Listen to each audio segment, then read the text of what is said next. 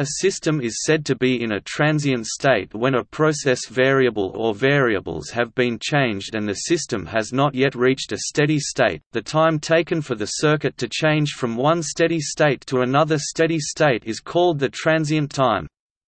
Transient analysis KVL and KCL to circuits containing energy storage elements results in differential a transient process is a process in which process variables change over time.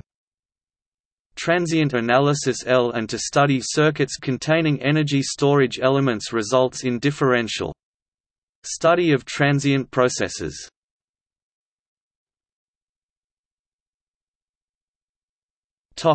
Examples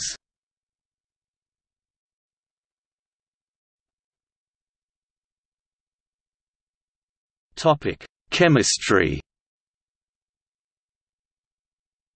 When a chemical reactor is being brought into operation, the concentrations, temperatures, species compositions, and reaction rates are changing with time until operation reaches its nominal process variables.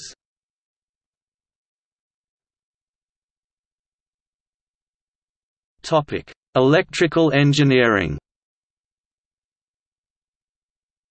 When a switch is flipped in an appropriate electrical circuit containing a capacitor or inductor, the component draws out the resulting change in voltage or current respectively, causing the system to take a substantial amount of time to reach a new steady state.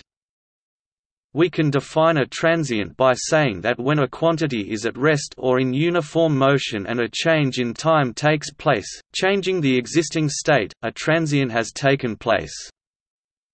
When a SCR four-layer PNPN device is switched on we have the problem of transients occurring as a result of high values of current and voltage oscillating around the point before normal levels are obtained again.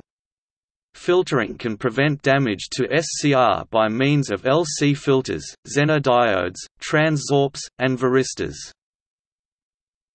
See also